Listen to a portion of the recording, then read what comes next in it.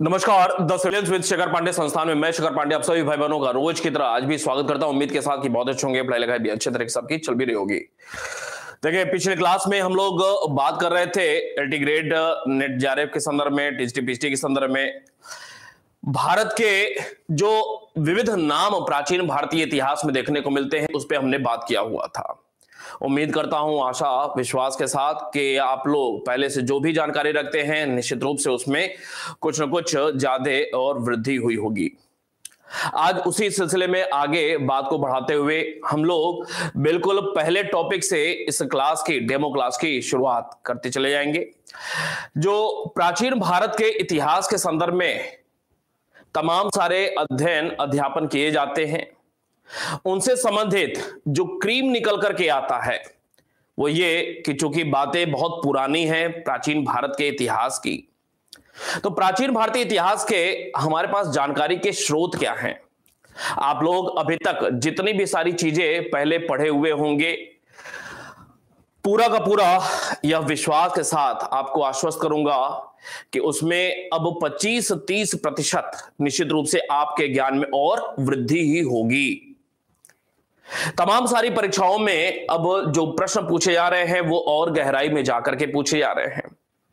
तो हम अब अपनी तैयारी को और अंदर के अंदर बढ़ाते हुए आगे बढ़ते चले जाएँगे। अर्थात जितना मैक्सिमम डेप्थ हो सकता है, वो साथ में लेकर के चलने का प्रयास करेंगे। पिछले क्लास में हमने भारतवर्ष के संदर्भ में कुछ बातें बताई थी। भारत के संदर्भ में जो अलग अलग नाम होते हैं प्राचीन भारत के इतिहास के अंतर्गत बिखरे हुए तथ्य हैं जो कि एक जगह समेकित करके हमें अध्ययन करना होता है। कभी भी जब शोध की बात किया जाता है जगह जगह पे नोट करते चले जाएँगे आप जो जानते हैं, उससे अब ज़्यादा की बात होगी यहाँ पे। जब भी हम स्रोत की बात करते हैं तो आपको यह जानकारी होगी कि स्रोत कभी भी दो भागों में बांट करके पढ़ा जाता है। एक होता है साहित्यिक स्रोत और दूसरा होता है पुरातात्विक स्रोत। साहित्यिक और पुरातात्विक स्रोत दो भागों में बांट करके स्रोत का अध्ययन किया जाता है। साहित्यिक स्रोत के अंतर्गत क्या क्या चीज़ें शामिल होती हैं? तो साहित्यिक स्रोत के अंतर्गत तीन टर्म देखने को मिलते हैं। कौन कौन से? एक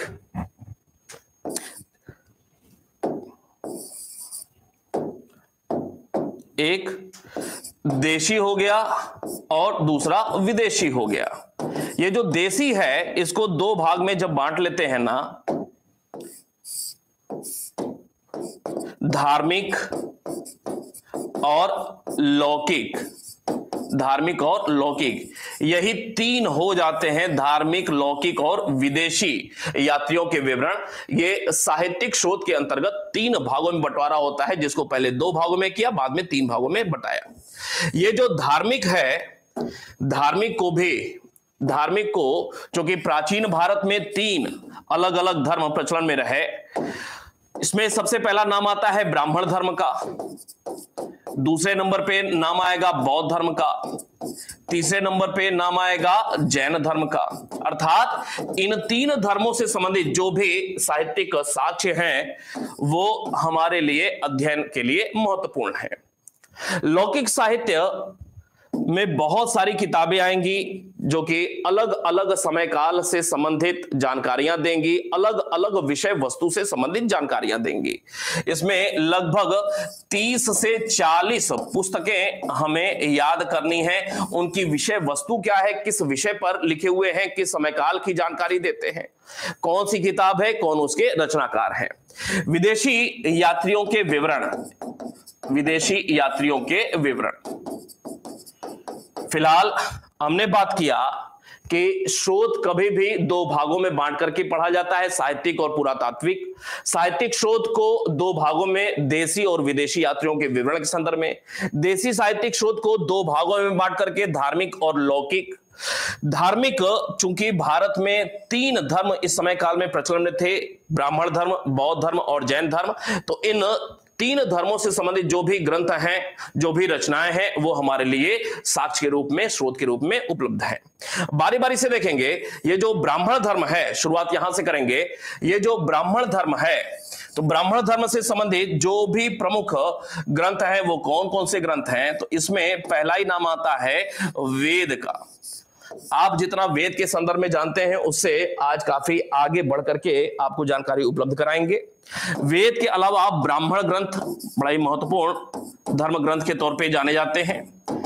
आरण्यक, ये सारी चीज़ें आपको पहले से ही पता है। आरण्यक, उपनिषद, इसके अलावा वेदांग। वेदांग के साथ साथ यहाँ पे सूत्र साहित्य भी आएँगे। वेदांग सूत्र साहित्य। सूत्र साहित्य के अलावा यहाँ पे नाम आएगा महाकाव्य का। महाकाव्य। महाकाव्य के अलावा यहाँ पे नाम आएगा पुराण का और पुराण के साथ साथ यहाँ पे धर्मशास्त्र अलग से एक टॉपिक हमें देखने को मिलता है, धर्मशास्त्र। नोट करते चले जाएँगे सारी की सारी बातों को। आगे बढ़े। पुराण के अलावा यहाँ पे धर्मशास्त्र एक बड़ा ही महत्वपूर्ण मुद्दा देखने को मिलता है। अब प्रश्न बनता है कि धर्मशास्त्र के अंतर्गत क्या क्या चीज़ें देखने को मिलती हैं। ध्यान देंगे तो धर्मशास्त्र के अंतर्गत सबसे पहला हमें धर्म सूत्र देखने को मिलते हैं। धर्म सूत्र देखने को मिलते हैं। फिर तमाम सारे स्मृति ग्रंथ हैं, स्मृतियाँ हैं, वो देखने को मिलती हैं और इन स्मृति ग्रंथों पर जो लिखी हुई टीकाएँ हैं, टीका। अर्थात रिसर्च ये सारी की सारी चीज़ें धर्मशास्त्र के अंतर्गत शामिल होती हैं। अर्थात धर्मशास्त्र के अंतर्गत धर्मसूत्र, स्मृति ग्रंथ और इन पर लिखी हुई जो टीकाएँ हैं, वो धर्मशास्त्र के ही अंतर्गत शामिल होती हैं। अर्थात हमने अभी तक देखा कि ये जो ब्राह्मण धर्म से संबंधित साहित्य है ना, वो कौन कौन से हैं? तो उसमें हमने सबसे पहले नाम लिया वेद का, फिर ब्राह्मण ग्रंथ का, फिर आरण्यक उपनिषद, वेदांग, सूत्र साहित्य, महाकाव्य, पुराण और धर्मशास्त्र धर्मशास्त्र के अंतर्गत धर्मसूत्र, स्मृति ग्रंथ और इन पर लिखी हुई टीका वेद की बात करते हैं। ध्यान देंगे। वेद। आमतौर पे आप सारे लोग जानते हैं कि ये जो वेद है, वह किस शब्द से निकला हुआ है तो विद धातु से निकला हुआ यह एक शब्द है, विद धातु से। इसका जो अर्थ होता है, वो होता है ज्ञान या जानना। यह भी प्रश्न कई बार पूछा हुआ है अलग अलग परीक्षाओं में कि वेद का अर्थ क्या होता है। तो वेद शब्द विद धातु से निकला हुआ है, जिसका अर्थ होता है ज्ञान या जानना। आमतौर पे आप लोगों को यह शायद जानकारी न हो, कुछ लोगों को जानकारी होगी भी कि वेदों की संख्या तो चार है। लेकिन प्रश्न यह बनता है कि इनकी भाषा और लिपि क्या है? भाषा और लिपि, कोई बताएगा?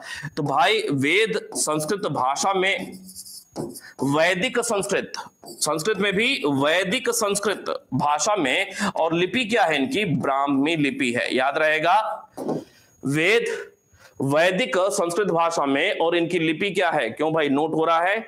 लिपि क्या है? तो इनकी लिपि है ब्राह्मी लिपि। वेदों के लिए, वेदों के लिए कुछ और शब्दों का प्रयोग होता है। वेद। वेदों के लिए अपौरुषेय शब्द का प्रयोग होता है। अपौरुषेय शब्द का प्रयोग होता है। अपौरुषेय क्यों कहा जाता है? वो भी बताते हैं। वेदों को श्रुति भी कहा जाता है। क्यों कहा जाता है? वो देखते हैं। वेदों को संहिता भी कहा जाता है। अर्थात ये सारे के सारे वेद के लिए समानार्थक शब्द जैसे हैं। वेदों को अपौरुषेय क्यों कहा जाता है? वेदों को अपौरुषेय इस वजह से कहा जाता है क्योंकि ऐसा मानना है, ऐसी किंवदंती है, ऐसी पौराणिक बात है। कि वेदों के लिखावट जो हुई है, रचना जो हुई है, वो किसी सामान्य मानव के बस की बात नहीं थी। अर्थात किसी सामान्य मानव की क्षमता से ऊपर कि यह रचना है वेद, इस वजह से अपौरुषेय शब्द का प्रयोग किया गया है। अर्थात किसी सामान्य मानव के पौरुष में यह नहीं था, क्षमता में नहीं था कि वेद की रचना कर सके, इस वजह से अपौरुषेय शब्द का प्रयोग किया गया है। चूँकि आरंभिक काल में, वैदिक काल में, गुरुकुल परंपरा में वेदों का ज्ञान मौखिक रूप से कराया जाता था। मेढक की तरह टरटराने वाली व्यवस्था थी। जो गुरु होते थे, वो वेदों का वेदों का ज्ञान सामने बैठे हुए स्टूडेंट्स को बोल बोल करके कराते थे, रटा रटा करके कराते थे। क्योंकि स्टूडेंट सुन सुन करके वेदों के शब्दों का या मंत्रों का ज्ञान अर्जित किया करते थे, इस वजह से इनको श्रुति कहा गया। संहिता इस वजह से कहा गया क्योंकि वेदों में मंत्रों का संकलन है। वेदों में मंत्रों का संकलन होने की वजह से, मंत्रों के संकलन की वजह से इसे संहिता कहा जाता है। क्लियर है यह बात? क्यों भाई? क्लियर है? आगे बढ़े। अपौरुषेय श्रुति और संहिता। अब यहाँ पे एक और बात देखने को मिलती है कि भाई, वेदों के लिए अपौरुषेय शब्द का तो प्रयोग हो गया। अर्थात, रचना सामान्य मानव के द्वारा नहीं की जा रही है। मानव द्वारा नहीं की जा रही है। लेकिन वेद है तो भाई तो प्रश्न बनता है कि वेदों की जो शुरुआत होती है, आरंभ होता है, वो कैसे होता है? तो पौराणिक दृष्टि से देखा जाए तो वेदों के बारे में लिखा हुआ है कि ब्रह्मा जी ने क्या किया? ये पौराणिक बात है, वास्तविक नहीं। ब्रह्मा जी ने कुछ ऋषियों को, कुछ ऋषि को मंत्रों का प्रकाश, मंत्रों को प्रकाश के रूप में गिफ्ट किया था। प्रकाश के रूप में गिफ्ट किया। नहीं। कुछ ऋषियों को ज्ञान कराया। वेद संबंधी जो भी बातें हैं, कुछ ऋषियों को इन वेद संबंधी मंत्रों का, शब्दों का ज्ञान कराया। बिखरा हुआ है, बिखरा हुआ है। अलग अलग ऋषियों के पास अलग अलग ज्ञान है। तो फिर यहाँ पे प्रश्न बनता है कि भाई, जब अपुरुषेय है मंत्रों का, वेदों के मंत्रों का ज्ञान ब्रह्मा जी करा रहे हैं। ऋषि महर्षि ऐसे बैठे हुए ध्यान साधना कर किए जा रहे हैं। ब्रह्मा जी अचानक से अवतरित हुए, उन्होंने ऐसे आशीर्वाद दिया, यहाँ से प्रकाश निकला, वो प्रकाश में ही वो मंत्र भी संलग्न है और प्रकाश सीधे ब्रह्मा जी के हाथ से निकलता हुआ किसी ऋषि की खोपड़ी से टच होता है, ठीक है? और मंत्र सीधे खोपड़ी में चलते जा रहे हैं, ठीक है? तो ये बात यहाँ पे लिखा। लेकिन ये सारे बिखरे हुए हैं अलग अलग ऋषियों को अलग अलग ब्रह्मा जी ज्ञान करा रहे हैं, पौराणिक बात है, वास्तविक नहीं। तो समस्या एक बनती है कि क्या इनका संकलन हुआ? तो उत्तर है हाँ तो वेदों के संकलन करता किसको माना जाता है? एक जगह इकट्ठा करने का श्रेय किसके पास है? तो भाई संकलन करता कृष्ण द्वैपायन। कृष्ण द्वैपायन, पूरा नाम वेद व्यास को माना जाता है। नहीं, कृष्ण द्वैपायन वेद व्यास को वेदों के संकलन कर्ता के रूप में जाना जाता है।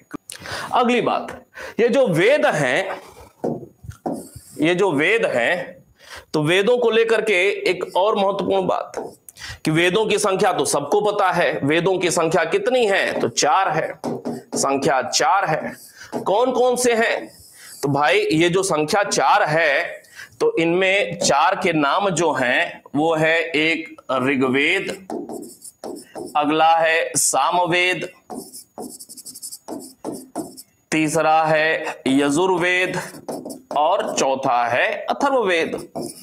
सामान्य सी बात है, सबको पता है। संख्या चार है कौन कौन से हैं? अब ये जो ध्यान देंगे, ये जो ऋग्वेद है, ये जो सामवेद है और ये जो अथर्ववेद है। ये जो ऋग्वेद है, ये जो सामवेद है और ये जो अथर्ववेद है, ये पद्य में रचित हैं, पद्य में रचित हैं। जबकि ये जो तीसरे नंबर पे है, यजुर्वेद, यह अपवाद स्वरूप अपवाद स्वरूप, कौन सा एक वेद, गद्य, पद्य दोनों रूपों में रचित है, अर्थात कुछ भाग गद्य में, कुछ भाग पद्य में, गद्य पद्य रूप में देखने को मिलता है एकमात्र यजुर्वेद। क्लियर है? आगे बढ़े।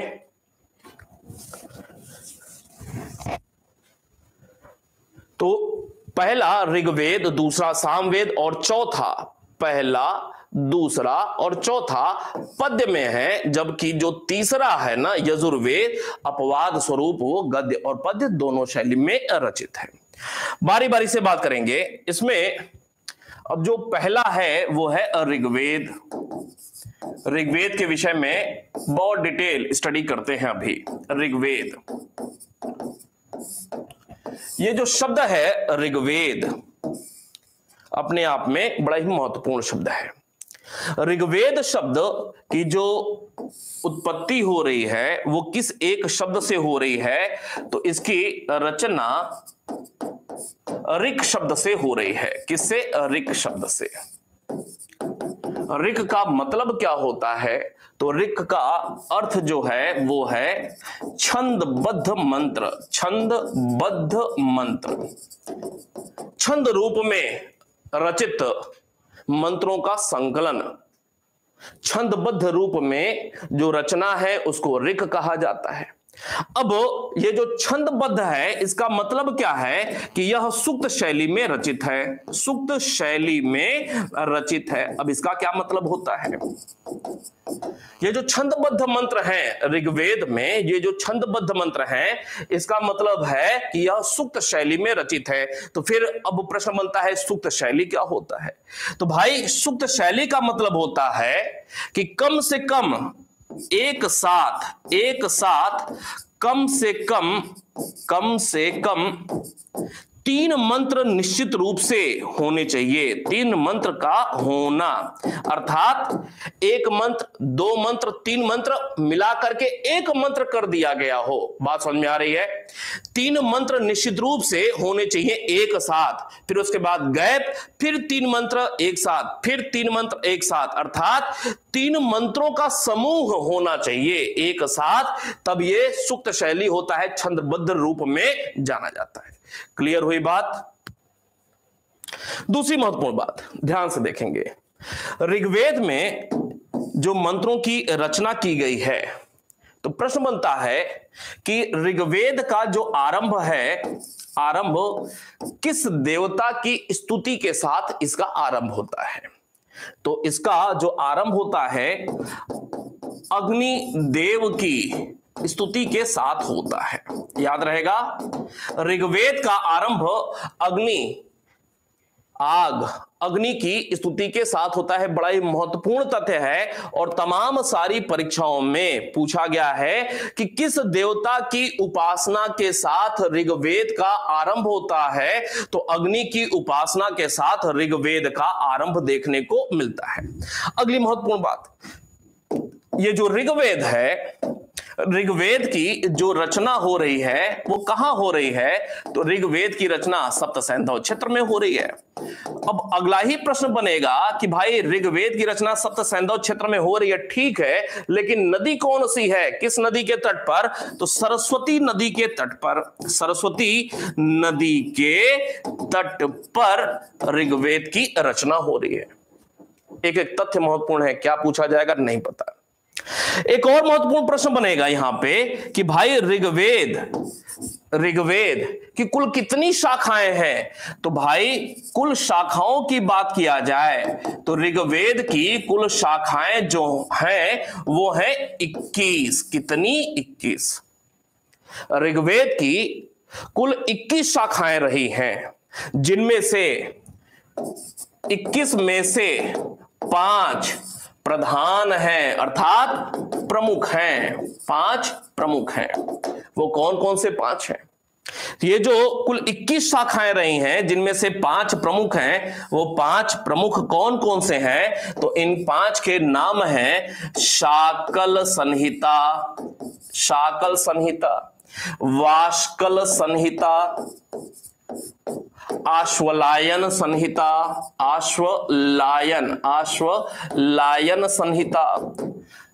साकल, वाष्कल, आश्वलायन, शंखायन शंखायन एंड मांडुक्य। ये कुल पाँच संहिता या शाखाएँ ऋग्वेद की देखने को मिलती हैं। कितनी? पाँच। अब प्रश्न यहीं पे बनता है कि वर्तमान में क्या ये पाँचों के पाँचों उपलब्ध हैं? या वर्तमान में कौन सी जीवित एक शाखा है? तो वर्तमान में वर्तमान में वर्तमान में एकमात्र यही उपलब्ध है। एकमात्र यही जीवित है या उपलब्ध है? क्लियर है? शाकल संहिता ही, साकल शाखा ही एकमात्र वर्तमान में उपलब्ध है। अब यहाँ पे एक और बात, यहाँ पे एक और बात। ये जो साकल संहिता है तो इसमें सुक्तों की संख्या कितनी है? तो भाई, इस साकल संहिता में एक हज़ार सत्रह सूक्त है। ध्यान से समझिएगा, एक हज़ार सत्रह वास्तविक सूक्त है, वास्तविक, एक हज़ार वास्तविक सूक्त है। एक हज़ार सत्रह वास्तविक सूक्त है, लेकिन समय के साथ इसमें कुछ अन्य भी जोड़े जाते हैं, परिशिष्ट के रूप में जोड़े जाते हैं। कितने? ग्यारह परिशिष्ट, अर्थात बाद में जोड़े हुए।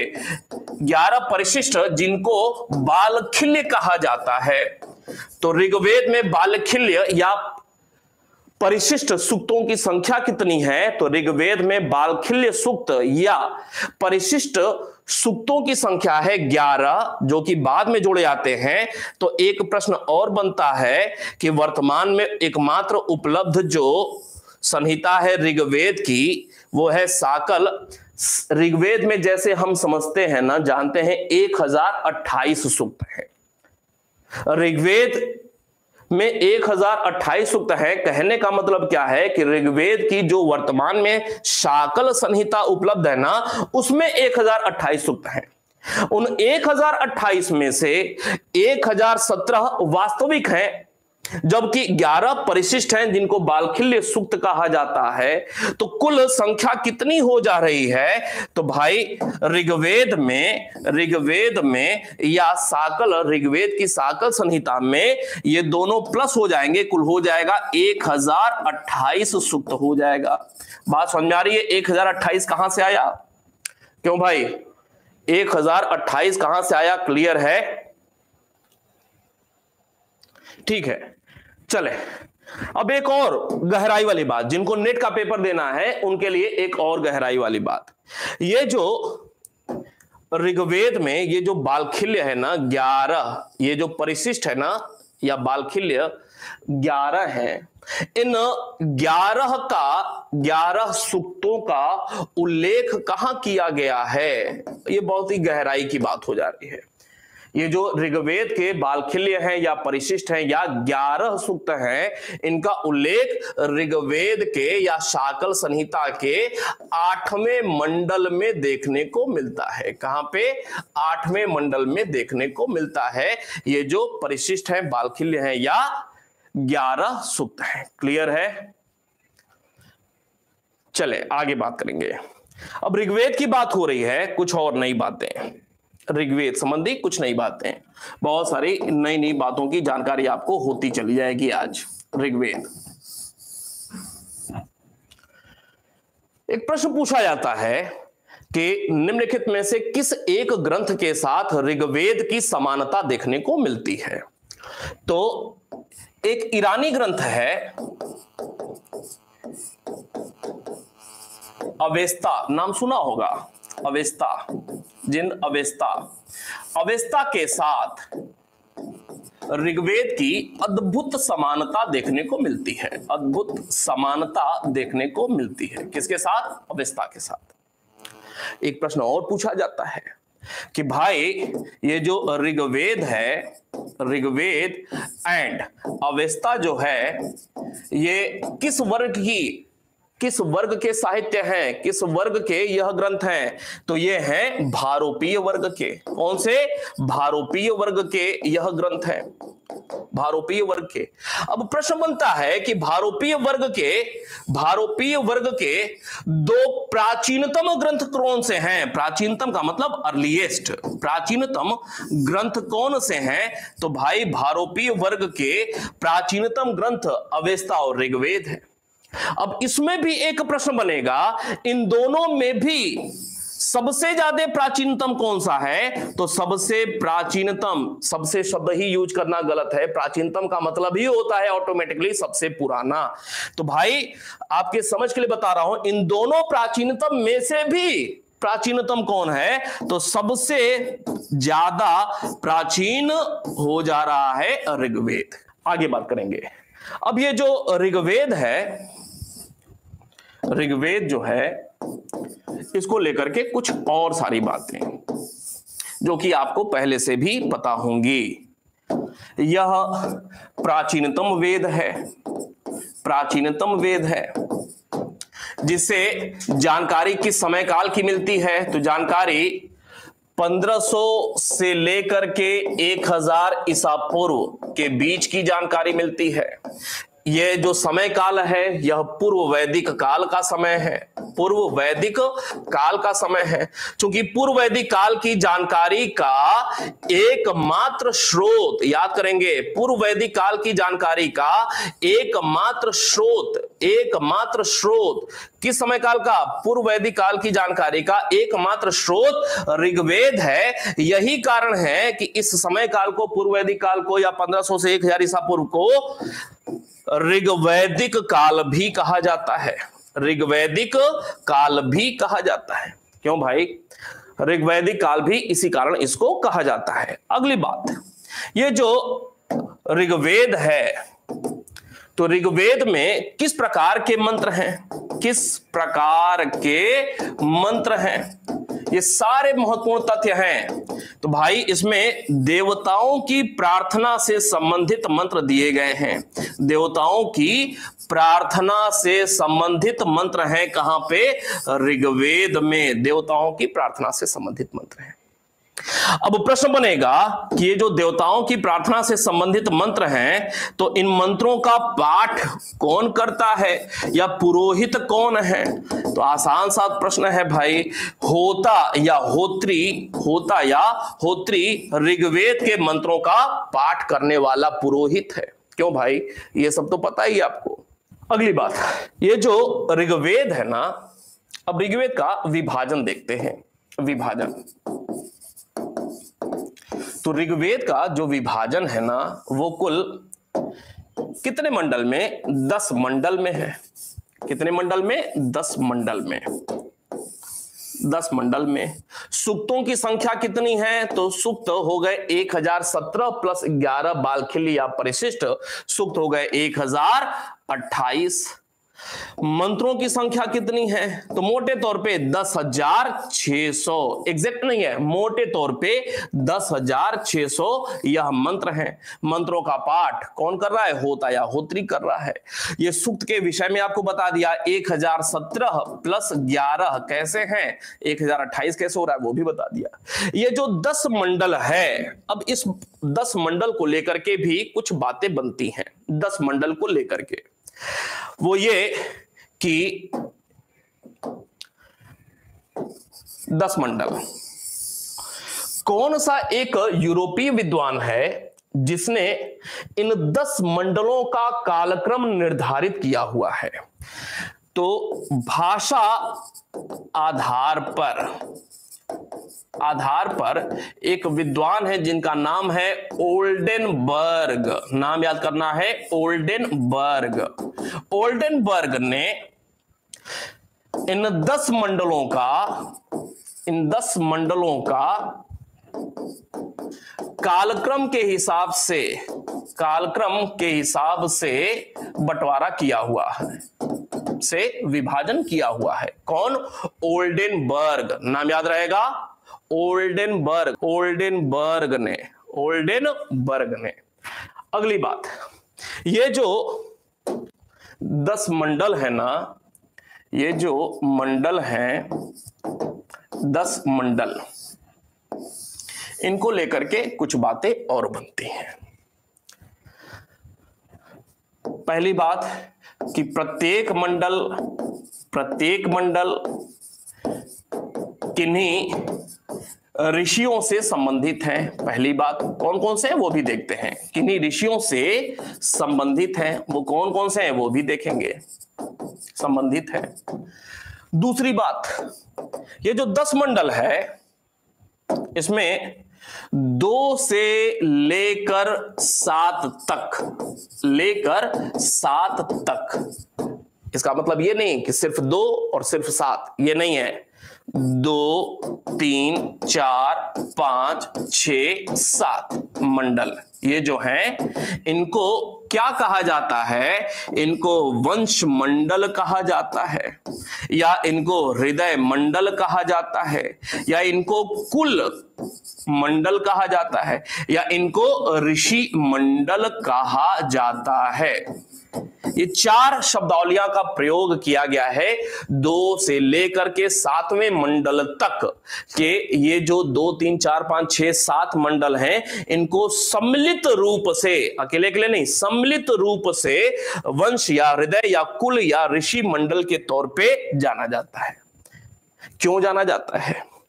क्योंकि ये प्राचीनतम मंडल है। अर्थात सबसे पहले जिन मंडलों की रचना हुई तो वो प्राचीनतम मंडल कहे जाएँगे। वो प्राचीनतम मंडल कौन से हैं? दो, तीन, चार, पाँच, छह, सात। प्राचीनतम, सबसे पहले इनकी रचना होती है। इस वजह से इनको वंश या हृदय या कुल या ऋषि मंडल कहा जाता है। अब प्रश्न बनता है, इनके बाद कौन से मंडलों की रचना होती है? ओल्डेनबर्ग, ये साहब, ये सारी बातें बता रहे हैं, ओल्डेनबर्ग। कि पहले किसकी रचना होती है, फिर बाद में, फिर बाद में, ठीक है? इसके बाद इसके बाद इसके बाद जो रचना होती है, आठवें एंड नौवे मंडल की होती है। आठवें और नौवे मंडल की रचना हो रही है। और लास्ट में लास्ट में किसकी किसकी रचना हो रही है? लास्ट में, अंत में किसकी रचना हो रही है? पहला और दसवां मंडल।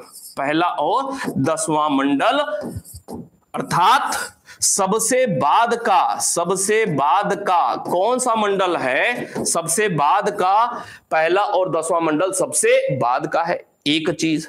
दूसरा, अगर एक शब्द यूज़ कर लिया गया कि नवीनतम मंडल कौन सा है, यही लोग गलती कर जाते हैं। अगर नवीनतम मंडल पूछ लिया गया, नवीनतम का मतलब बिल्कुल नया नया। जो सबसे बाद का होगा, वही तो सबसे नया होगा ना।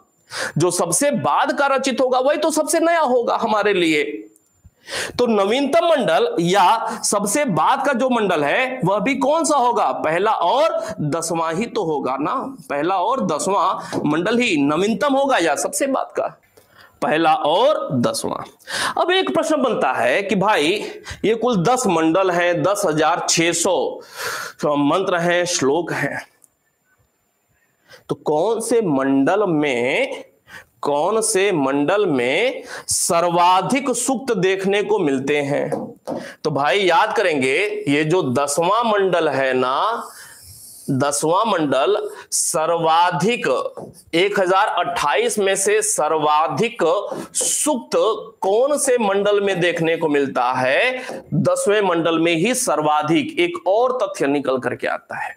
सर्वाधिक सुक्त दसवें मंडल में ही देखने को मिलता है। क्लियर है। अगली बात करेंगे। उम्मीद करते हैं कि ये बहुत सारी नई बातों की जानकारी आपको हो रही है, जो आप पहले से जानते हैं। अब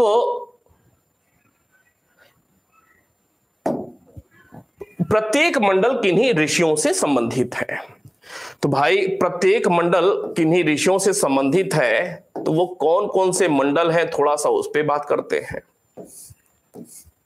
अगर पहले मंडल की बात किया जाए, ध्यान से देखेंगे, प्रत्येक मंडल किन्हीं ऋषियों से संबंधित है। प्रथम मंडल की बात करें तो प्रथम मंडल किसी एक ऋषि से संबंधित नहीं है, बल्कि कई ऋषि हैं। कौन से कुल वाले ऋषि हैं? तो कन्व कुल वाले ऋषि हैं। कन्व ऋषियों से संबंधित यह मंडल है। कन्व एक ऋषि नहीं, कई ऋषियों। कन्व ऋषियों से संबंधित यह मंडल है। कन्व ऋषियों से संबंधित प्रथम मंडल है। और बिल्कुल नई बात, कौन से मंडल में दास राग युद्ध का वर्णन है, यह तो आपको अच्छे से पता है। कौन से मंडल में दास राग युद्ध का, दस राजाओं का युद्ध? सातवां मंडल आपको पता है। लेकिन एक नई बात जो आपको नहीं पता है, और कभी भी यह प्रश्न नहीं पूछा हुआ है किसी भी परीक्षा में। अगर यह प्रश्न पूछ जाए कि ऋग्वेद के कौन से मंडल में 20 राजाओं के युद्ध का वर्णन किया गया है? 20 राजाओं का युद्ध कौन से मंडल में देखने को मिलता है? तो 10 राजाओं का युद्ध तो दास राग युद्ध, आप सातवां मंडल पुरुषणी रावी नदी किनारे जानते हैं। वशिष्ठ और विश्वामित्र वाली बात। लेकिन 20 राजाओं का युद्ध कौन से मंडल में देखने को मिलता है? पहले मंडल में 20 राजाओं के युद्ध का उल्लेख मिलता है। याद रहेगा? क्यों भाई? दूसरे मंडल की बात करते हैं। ये जो दूसरा मंडल है, द्वितीय मंडल, किससे संबंधित है? निश्चित रूप से आप जानते हैं गृत समद ऋषि से संबंधित है। गृत समद। अब गृत समद को लेकर के एक और महत्वपूर्ण बात। कि विश्व का विश्व का प्रथम इंजीनियर किसे कहा जाता है? तो विश्व का प्रथम अभियांत्रिकी, हिंदी में शब्द अभियांत्रिकी किसको कहा जाता है? तो विश्व का प्रथम अभियांत्रिकी समद ऋषि को ही कहा जाता है। याद होना चाहिए। याद होना चाहिए। तीसरे मंडल की बात करें, आपको याद होगा ही तीसरा मंडल। तीसरा जो मंडल है ना, वो किससे संबंधित है? विश्वामित्र संबंधित है, इतनी तो बात आप जानते ही हैं। और विश्वामित्र ने ही गायत्री मंत्र की रचना की तो गायत्री मंत्र का उल्लेख कौन से मंडल में है? तो गायत्री मंत्र का उल्लेख तीसरे मंडल में है। अब एक प्रश्न जो आपको नहीं पता है कि विश्वामित्र कौन से कुल के थे? तो याद करेंगे, विश्वामित्र कुशिक कुल के थे। कौन से कुल? कुशिक कुल के थे। याद रहेगा? नया नया प्रश्न आपके लिए। कुशिक कुल के विश्वामित्र थे। गायत्री मंत्र की रचना जो हुई, इसका उद्देश्य क्या था? तो गायत्री मंत्र की रचना का उद्देश्य जो था, वह उद्देश्य था अनार्यों को आर्य बनाना। अनार्यों को आर्य बनाने के लिए विश्वामित्र के द्वारा गायत्री मंत्र की रचना की गई। गायत्री मंत्र की रचना क्यों हो रही है? अनार्यों को आर्य बनाने के लिए। तीसरी महत्वपूर्ण बात, ये जो गायत्री मंत्र है, किस देवी को समर्पित है? तो भाई, यह सवित्री सवित्री देवी को समर्पित है। अब ये सवित्री कौन है? तो ये जो सवित्री देवी है, सूर्य का ही एक रूप है। सूर्य का ही एक रूप है। और किस काल की देवी है? प्रातः काल की देवी है। याद रहेगा? अगली बात करेंगे। ये जो चौथा मंडल है, चौथा मंडल, सारे लोगों को जानकारी होगी, चतुर्थ मंडल किससे संबंधित है? ऋषि का नाम है वामदेव। पांचवा मंडल किससे संबंधित है? तो पांचवा मंडल अत्रि जी से संबंधित है। नहीं? नाम बहुत अच्छे से आप लोग जानते हैं। छठा मंडल की अगर बात किया जाए तो छठा मंडल किससे संबंधित है? वशिष्ठ सॉरी वशिष्ठ से संबंधित है। नहीं, भारद्वाज। क्यों भाई? भारद्वाज है ना? भारद्वाज। सातवां मंडल वशिष्ठ से संबंधित है। अब आठवां मंडल कौन सा हो जाएगा? तो भाई, आठवां जो मंडल है, आठवां एक ऋषि, कन्व ऋषि से संबंधित है। नवा मंडल से जुड़े हुए एक ऋषि जो है, नवे मंडल से जुड़े हुए जो एक ऋषि हैं, उनका नाम है अंगीरस। कई बार आठवां के लिए यूज़ किया जाता है कन्व और अंगीरस, लेकिन अगर अलग अलग करके देखें तो आठवां से संबंधित है। कन्व ऋषि, नवे संबंधित अंगीरस, लेकिन इसी में एक बात और निकल करके आती है, यह मंडल यह मंडल किसको समर्पित है? तो यह मंडल सोम को समर्पित है, सोम को समर्पित है। अब सोम क्या है भाई? तो भाई, ये जो सोम है, यह एक वृक्ष है। इस वृक्ष से एक पेय पदार्थ बनाया जाता है, जिसको कहा जाता है सोम रस। यह अब प्रश्न बनता है कि यह वृक्ष कहाँ पाया जाता है? तो हिमालय की एक चोटी है। हिमालय की जो चोटी है, उसका नाम है मूजवंत चोटी। मूजवंत पर्वत या चोटी। तो नवा मंडल सोम से संबंधित है। दसवें मंडल की बात करते हैं। बहुत ध्यान से देखेंगे। अच्छा ये जो आठवां मंडल है, उसको नोट किया क्या? ये जो आठवां मंडल है कर्म से, ठीक है। एक, ये जो सातवां है ना, इसको भी नोट कर लें जरा। ये जो सातवां है ना, वशिष्ठ से संबंधित जो है, सातवां यह मंडल वरुण देव से संबंधित है। वरुण देव को समर्पित है। एक नया प्रश्न नोट कर लें। सातवां, वशिष्ठ से संबंधित ऋषि हैं, वशिष्ठ, लेकिन किस देवता को समर्पित है? तो जैसे नवा, सोम को समर्पित है, वैसे ही सातवां को नोट कर लेंगे। वरुण देव को समर्पित यह मंडल है। दसवें की बात करेंगे, बड़ा ही महत्वपूर्ण मंडल है, दसवां मंडल। ये जो दसवां मंडल है ना, दसवां मंडल, ये दसवां मंडल किसी एक से संबंधित नहीं है, दो से नहीं, बल्कि बहुत सारे लोग हैं तो कभी भी यह प्रश्न नहीं बनता है। लेकिन दसवें मंडल को लेकर के कुछ तथ्य निकल करके आते हैं, जैसे सर्वाधिक सुक्त कौन से मंडल में देखने को मिलता है तो आपको पहले बता दिया, यहाँ पे देखने को मिलता है। इस दसवें मंडल में ही नदी सुक्त भी है, नदी सुक्त भी है। इस दसवें मंडल में ही सूर्य सुक्त भी है। इस दसवें मंडल में ही विवाह सुक्त भी है। विवाह सुक्त कौन से मंडल में है? तो विवाह सुक्त भी इसी में है। नदी सुक्त हो गया, सूर्य सुक्त हो गया।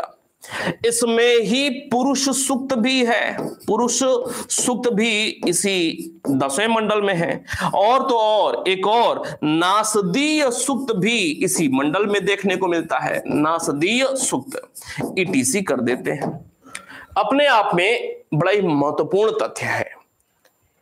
देखते हैं क्या क्या है। ये जो दसवां मंडल है, जिसमें ये सर्वाधिक सूक्त हैं, एक है नदी सूक्त।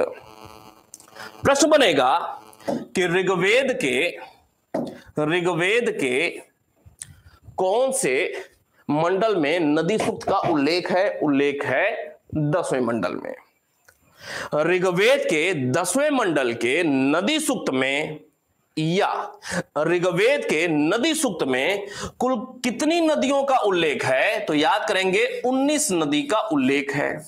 यह संपूर्ण ऋग्वेद की बात नहीं हो रही है।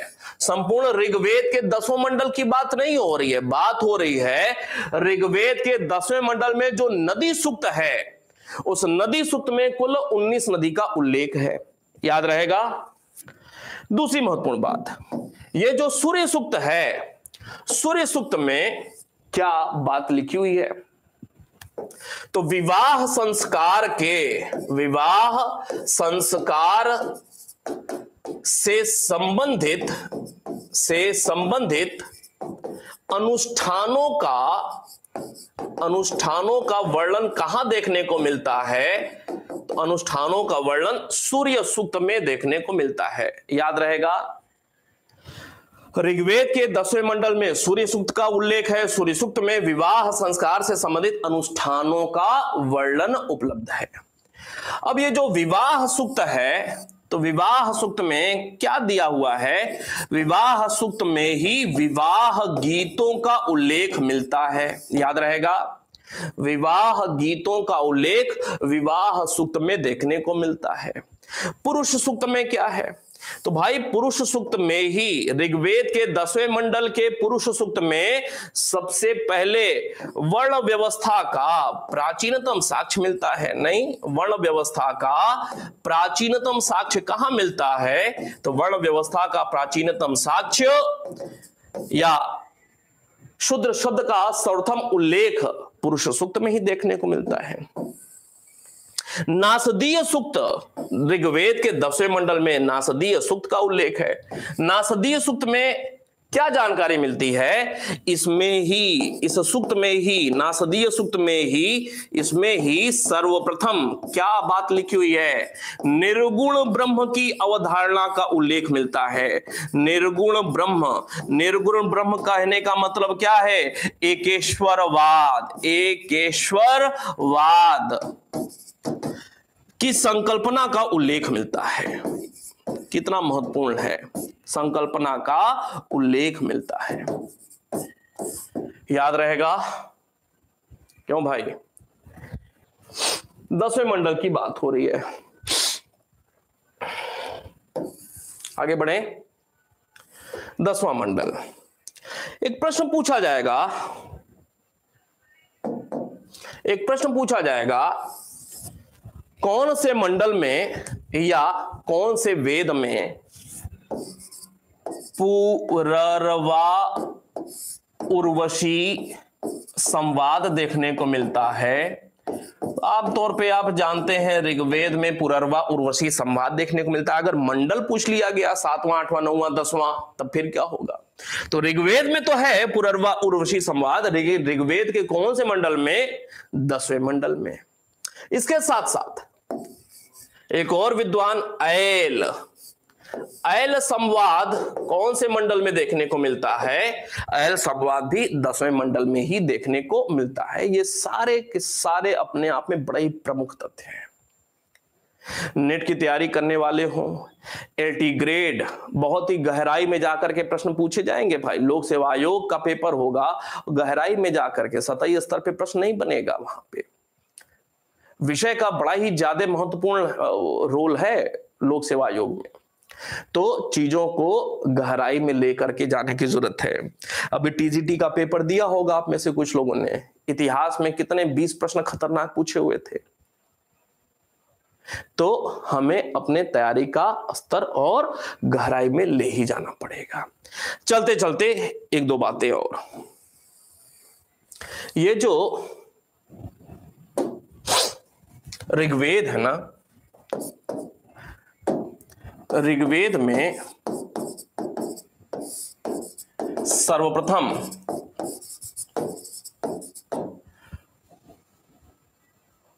उल्लिखित तथ्य या साक्ष्य। कौन कौन से हैं? जैसे आपको पता होगा, सूर्य और चंद्र ग्रहण। सूर्य ग्रहण, चंद्र ग्रहण का सबसे पहला साक्ष्य कौन से ग्रंथ में मिलता है? तो सर्वप्रथम तथ्य या साक्ष्य ऋग्वेद में जो मिल रहा है सूर्य ग्रहण की जानकारी सबसे पहले ऋग्वेद ही देता है। सबसे पहला उल्लेख सूर्य ग्रहण संबंधी बातों का ऋग्वेद में चंद्र ग्रहण का उल्लेख ऋग्वेद में ही। इसके अलावा, शल्य चिकित्सा का भी, शल्य चिकित्सा का भी प्राचीनतम उल्लेख ऋग्वेद में ही देखने को मिलता है।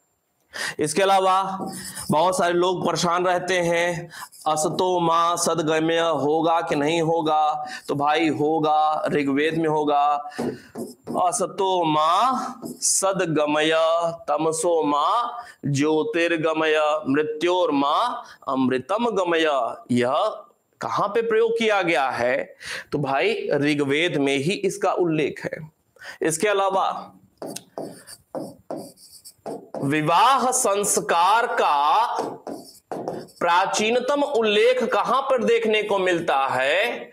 तो विवाह संस्कार का प्राचीनतम उल्लेख भी यही देखने को मिलता है। भारतीय नाटक विधा का प्राचीनतम साक्ष्य कहाँ देखने को मिलता है? तो प्राचीनतम साक्ष्य, ये नाटक, कथा कहानी वाला नाटक, हिंदी साहित्य वाला साक्ष्य ऋग्वेद में। प्रेम विवाह का विवाह का प्रथम साक्ष्य भी ऋग्वेद में ही, ऋग्वेद के संदर्भ में। ऋग्वेद के कुछ सूक्तों की रचना, कुछ सूक्तों की रचना एक व्यक्ति कर रहे हैं तो ये नाम याद कर रहे हैं ऋग्वेद के कुछ सूत्रों की रचना गौतम राहु गण के द्वारा की गई थी। अगली बात, ऋग्वेद के कुछ मंत्रों या सूक्तों की रचना कुछ विदुषियों के द्वारा किया जा रहा है। कुछ विदुषियों के द्वारा के द्वारा किया जा रहा है। कौन कौन सी? आपको नाम याद होगा, अपाला, सच्ची मुद्रा कक्षावृत्ति आदि। कुछ ऐसी महिलाएँ हैं जिन्होंने ऋग्वेद के कुछ मंत्र या सूक्तों की रचना की हुई थी। एक बात आपको जो कई बार बताया हुआ है कि इन नामों में, उपरोक्त नामों में कौन सा एक नाम शामिल नहीं है तो उपरोक्त नामों में नामों में गार्गी का नाम शामिल नहीं है। गार्गी शामिल नहीं है। क्यों नहीं शामिल है? क्यों? क्योंकि गार्गी जो है, गार्गी उत्तर वैदिक काल की महिला है। उत्तर वैदिक काल की महिला है, की महिला है। बात खत्म हो जा रही है। ठीक है?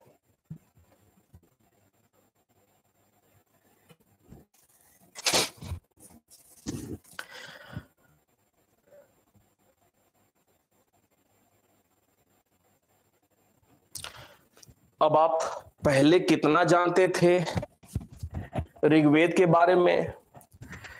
और निश्चित रूप से आज की जो क्लास हुई, अगर प्रॉपर वे में नोट किया होगा आपने तो निश्चिंत हो जाइएगा ऋग्वेद को लेकर के। ऐसे ही सामवेद, यजुर्वेद और अथर्वेद के विषय में भी बात करेंगे। मिले फिर